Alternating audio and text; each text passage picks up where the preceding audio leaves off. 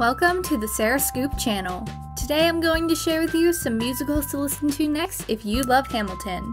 Before we get into this video, don't forget to give this video a thumbs up and subscribe to Sarah Scoop. In the Heights. In the Heights takes place over the course of three days in Washington Heights. Its themes covers community and hope while depicting immigrant issues. In 2008, it deservedly won the Tony for Best Musical. It stars Christopher Jackson and Lin-Manuel Miranda who wrote the music and lyrics. The film adaptation was set to premiere this past June, however, due to COVID-19 health concerns, the release is rescheduled to next year. Bring It On! This film-to-stage adaptation has music by Lin-Manuel Miranda, Amanda Green, and Tom Kitt. This musical received nominations for Best Musical and Best Choreography.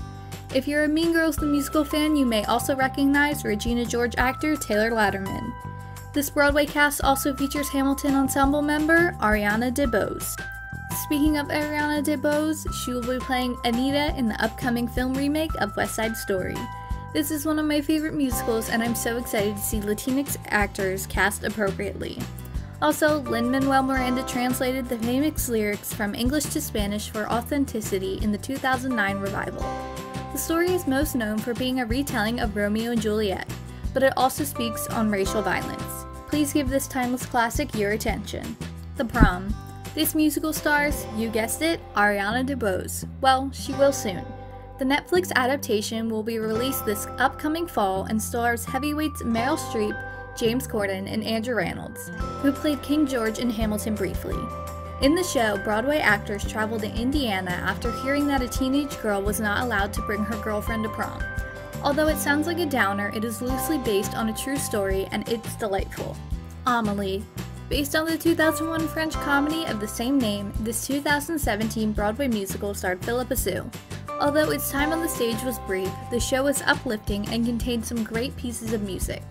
At one point in the song Goodbye Amelies, she imagines Elton John singing her praises and it's adorable. Natasha Pierre in The Great Comet of 1812.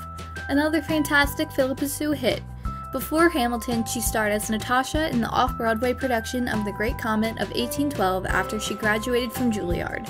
This musical is based on Tolstoy's War and Peace, but is much more engaging than the original text. Spring Awakening. Jonathan Groff may be known as King George to many, but before he was spitting during You'll Be Back, he was playing a 19th century German teenager discovering his sexuality. The production won 8 Tony Awards, and its 2015 revival, produced by Deaf West, received 3 nominations. It has an alternative rock score, and I guarantee it will make you cry. Lea Michele and Skylar Astin were in the original cast as well. A New Brain. Jonathan Groff again. In 2015, Groff played the role of Gordon Michael Schwinn at the New York City Center.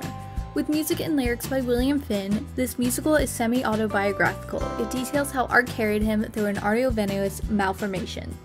Leap of Faith The talented Leslie Odom Jr. played Isaiah Sturdevant in the musical adapted from the movie of the same name. It has music by Alan Menken, writer of The Little Mermaid, Beauty and the Beast, Little Shop of Horrors, and the list goes on.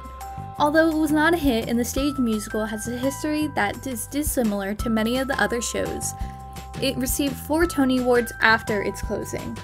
The Color Purple, another film adaptation. Renee Elise Goldsberry originated the role of Nanette in 2005. The original production received 10 Tony nominations, and its 2015 revival received 4 and won Best Revival. Thank you for watching. Head to sarahscoop.com for more of the scoop on your favorite things.